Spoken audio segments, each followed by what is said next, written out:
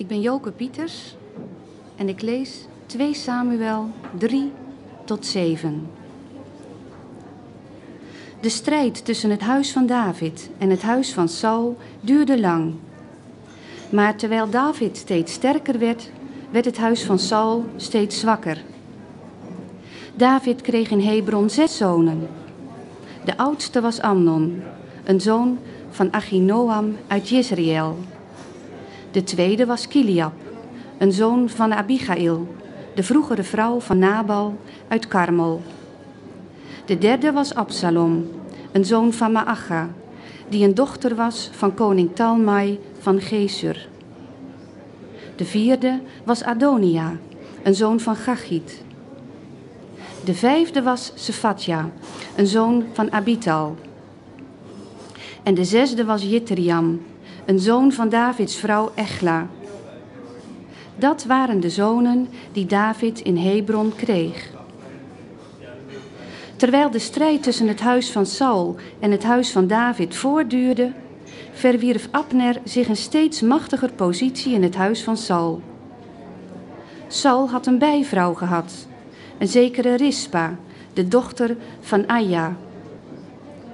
Isbozet vroeg aan Abner: Waarom hebt u bezit genomen van de bijvrouw van mijn vader? Abner werd woedend over de woorden van Isbozet en viel uit: Wat? Ben ik soms zo'n hondsvot uit Juda? Heb ik niet steeds het beste voorgehad met het huis van uw vader Saul, met zijn familie en zijn vrienden? Ik heb ervoor gezorgd dat u niet in de handen van David viel en u verwijt mij overspel? God mag met mij doen wat hij wil als ik David niet zal bezorgen wat de Heer hem gezworen heeft. Het koningschap afnemen van het huis van Saul en voor David een troon oprichten over Israël en over Juda, van Dan tot Berzeba. Isbozet was zo bang voor Abner dat hij hier niets tegenin durfde brengen. Meteen stuurde Abner afgezanten naar David met de boodschap: Aan wie behoort het land? Sluit met mij een verdrag, dan zal ik u helpen om heel het volk van Israël voor u te winnen. David liet antwoorden: Goed, ik zal met u een verdrag sluiten, maar onder één voorwaarde. Ik zal u alleen ontvangen als u Sauls dochter Michal voor me meebrengt.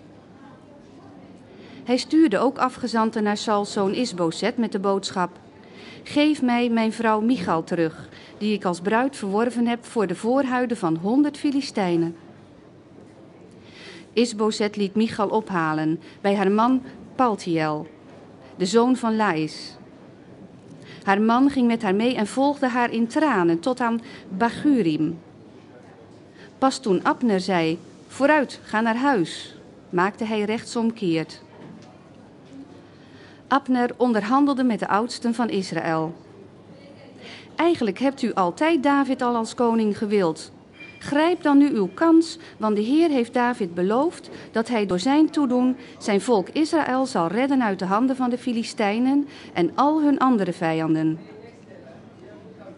Abner sprak ook met de Benjaminieten. Daarna ging hij naar Hebron om David mee te delen wat de Israëlieten en ook de stam Benjamin hadden besloten. Hij kwam met twintig afgevaardigden in Hebron aan, waar David voor hen een feestmaal aanrichtte. Abner zei tegen David: Ik stel voor dat ik op weg ga om alle Israëlieten bijeen te brengen onder mijn heer en koning. Zij zullen een verdrag met u sluiten, en u zult koning zijn over heel het gebied dat u verlangt. En David liet Abner ongehinderd vertrekken. Vlak daarop kwam Joab met de mannen van David terug van een strooptocht. Ze brachten een grote buit mee. Abner was niet meer in Hebron, want David had hem ongehinderd laten gaan. Toen Joab met zijn mannen aankwam, hoorde hij dat Abner, de zoon van Ner, bij de koning was geweest en dat die hem ongehinderd had laten vertrekken. Daarop ging Joab naar de koning en vroeg: Wat hebt u gedaan? Abner is naar u toegekomen en u hebt hem zomaar laten gaan? U kent hem toch? Hij is natuurlijk gekomen om u te misleiden en zich op de hoogte te stellen van uw troepenbewegingen en uw plannen. Joab ging bij David weg en stuurde boden achter Abner aan, die hem bij de put van Sira lieten terugkeren. Toen Abner in Hebron terugkwam, nam Joab hem in het poortgebouw terzijde, alsof hij hem onder vier ogen wilde spreken, en stak hem in de buik. Zo stierf Abner, omdat hij Joabs broer Azael had gedood. David vernam pas naderhand wat er gebeurd was. Toen riep hij uit: Ik en mijn koningshuis zijn tegenover de Heer onschuldig aan de dood van Abner, voor nu en altijd. Mogen het bloed van Abner, de zoon van Ner, gewroken worden aan Joab en zijn familie.